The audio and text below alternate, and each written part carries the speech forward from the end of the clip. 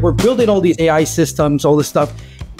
We have the opportunity to kind of kill two birds with the kill two birds with the same stones, right? Get the job done, but at the same time, help the employee, help the, the user learn through that process. And to be able to go do this, I think one, the input to all of these AI systems that are being built is uh, really understand that knowledge, that context within an organization because that's the knowledge that you need to be able to teach the people understand how my how the business works. Again, my example is like how many different definitions of customers do we have and so forth, and by it, we need we will have the opportunity to scale that out, and we will need to be able to have governance around that stuff to make sure like what the have the right context. So that's going to be the inputs to that.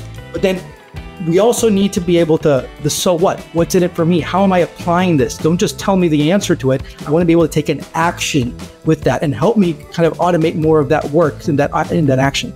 And then during that whole process you have those humans in the loop and then that's how we're learning and at the same time accomplishing our task. And i think that's a win-win for organizations. That's what i'm really excited about